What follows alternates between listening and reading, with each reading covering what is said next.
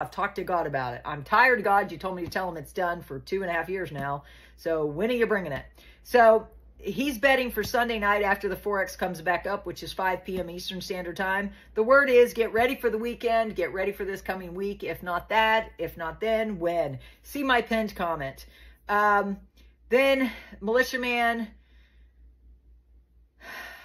question was last night. I this was in my last summary because I do these every day. What are we waiting for? We're waiting for Iraq to make an announcement. I believe in some shape or form it's going to be his job. He is the central bank of Iraq governor. I agree with you. I've always been saying it's the CBI.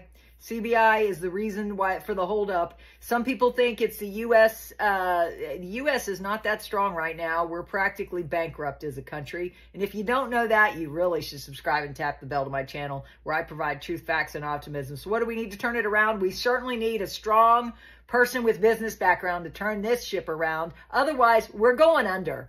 Whether you like the queen bee who has a beehive of people that no matter what she says, word salads are enough for them